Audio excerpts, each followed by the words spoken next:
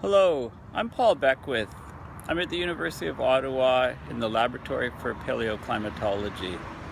Um, so I do climate change uh, research. Um, I'm also an engineer. I studied in engineering physics and um, I'm also a uh, physicist. I did a master's degree in uh, laser physics, published uh, many uh, peer-reviewed papers and conference uh, presentations, etc. in a previous life. Um, about a year ago, I did a uh, YouTube video. You can Google it. It's got the title, um, Can Sea Level Rise, Can Global Sea Level Rise 7 Meters by 2070? And I went through um, some basic analysis looking at doubling rates of ice melt from Greenland and Antarctica and came up with uh, uh, a number that, uh, you know, based on a doubling period of about seven years, which is held over about the last uh, two decades or so for both Greenland and Iceland uh, uh, ice melt, um, I came up with a sea level rise of, you know, and, and it wasn't uh, aggressive or anything, conservatively, you know, it, the, the numbers just, if you get exponential uh, increase, then that builds very quickly. So yeah, the answer to that is, the, question is yes, you could get seven meters of sea level rise by 2070. Um, I took a lot, lot of flack um, at that time, uh, mostly from scientists for coming up with such a video. Um, so the reason why I'm doing this video is people have asked me, well, in light of the recent developments with Antarctic sea ice melt and Greenland sea ice melt, um, and uh, you know, uh, Jim James Hansen, one of the world's most famous uh, climatologists, has just uh, co-authored a paper. He's the principal author with 16 different scientists um, asking this very question. You know, given ice melt uh, that we're seeing, and also the historical uh, paleo records on ice melt, and also computer modeling. Um, does it make any sense that, like uh, to assume that the melt rates and sea level rise are linear uh, as the IPCC um, assumes um, or do they follow uh, exponential trends? So that's the uh, big question.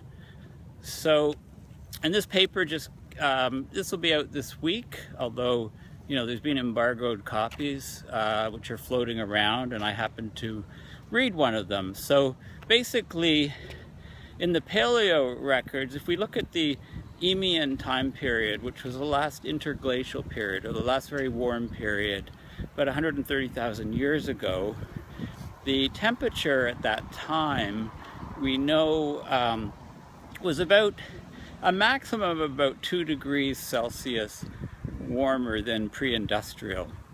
Now, um, given you know this very warm year, you know we're we're about a degree warmer than pre-industrial, degree Celsius warmer now.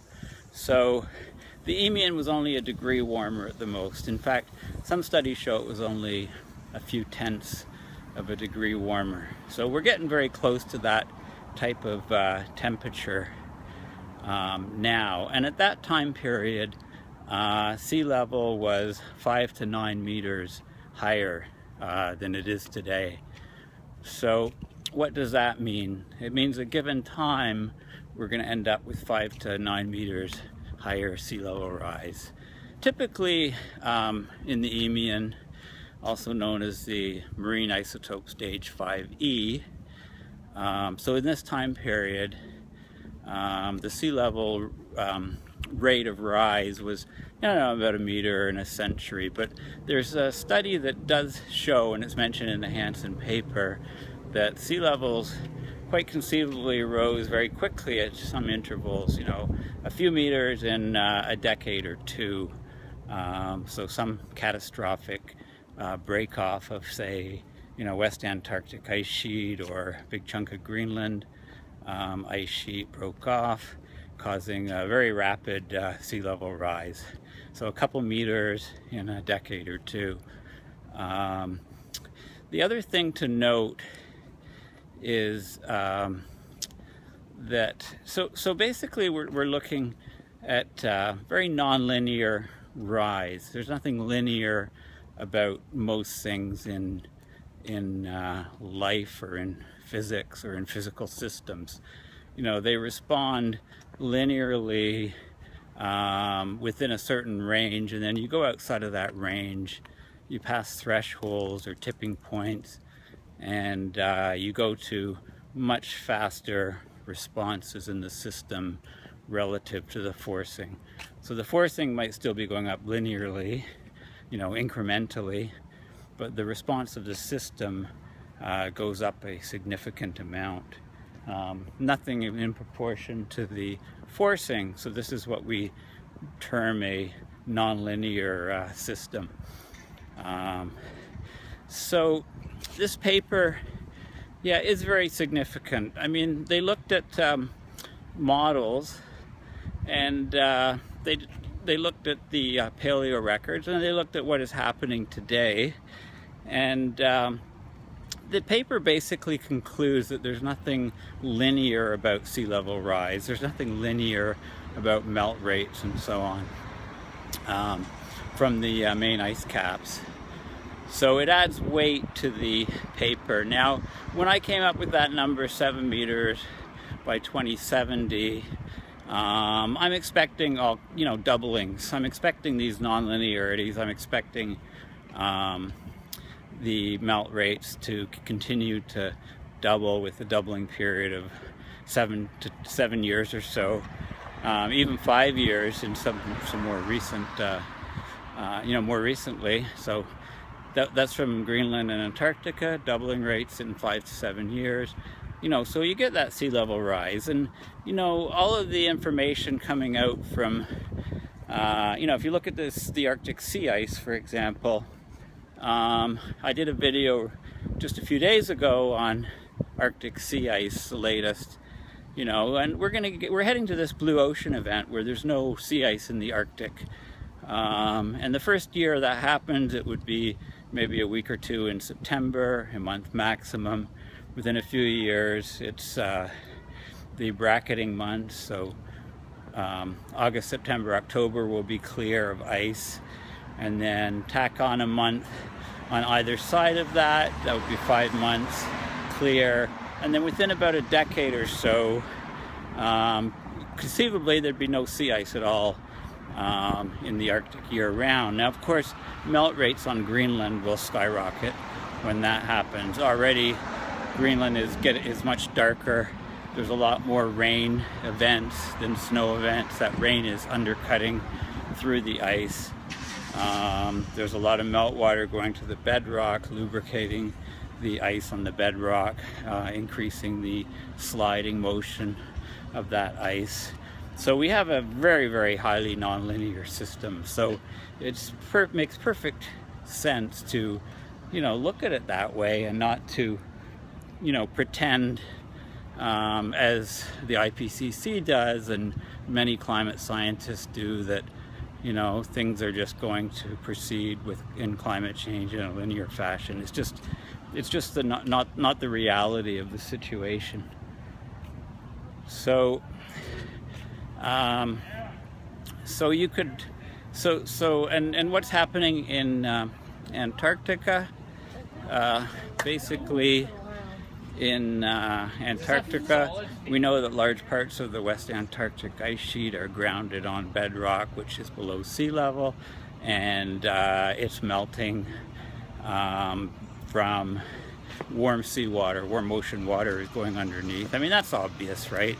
You know, the GRACE uh, anomaly satellite is measuring mass loss in Green in Antarctica, and it can only be due to um, warm water underneath because the temperature on the surface um, is above zero or below zero for for almost all year. I mean, but we have seen uh, cases recently where both in Antarctica and, and, the Arctic, the temperatures have been unbelievably high.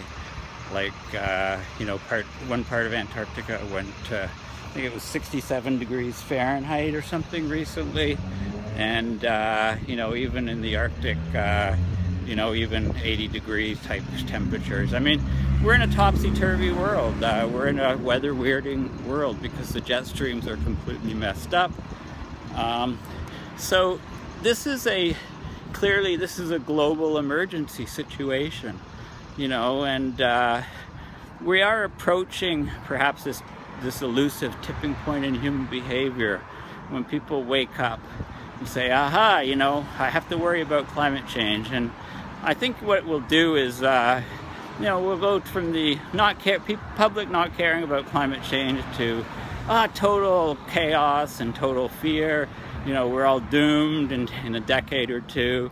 And then, uh, you know, then that will lead to the reality of, uh, you know, taking action. And humans are the largest negative feedback. So, um, you know, if you're watching this video, please share it. Please discuss it with friends. Um, you know, with sea level rise of, uh, you know, many meters, um, you know, sooner than people think, it will rewrite the geography of our planet. It will cause mass migrations away from coastlines. It will cause huge economic losses. And, uh, you know, of course, if the methane starts coming out in in increased quantities from the Arctic, which I expect it will, as well as the Arctic Methane Emergency Group, my colleagues expect it will, then it means that we must do uh, certain things. A, we must slash, um, get off get off carbon uh, as quickly as possible. Not in 20 years, not in 30 years. Just, uh, there's no point in building any fossil fuel infrastructure, no pipelines, no new uh, coal plants, nothing completely renewable energy, get off carbon completely. That's uh, given. We have to do that. We have no choice we want to survive on this planet. Um, the next thing is to, we need to cool the Arctic. We have methods to do this. We need to cool the Arctic. Um, that will buy us a bit of time. It will at least keep the methane from coming up. And uh, because once it starts coming up, then all bets are off without doing anything. But we can still keep our uh, finger on the on the uh, on the uh, you know we can still have some control if we of the system and keep it from going into this nonlinear regime. Um, we're in we're in we're definitely in abrupt climate change now, but humans are the biggest negative feedback, and we could take us out of that regime um, if we have the will. We certainly have the money to do it. I mean, there's no shortage of money for military. You know, the big threat is not a military threat, it's a climate change threat. So we need to divert those funds. Um, and uh, yeah, so, so uh, you know, at least uh, we first we need, you know, people to understand the risks that we face. So hopefully, I mean, that's why I do all these videos to uh, try to get people to uh, understand the threats that we face. Thank you.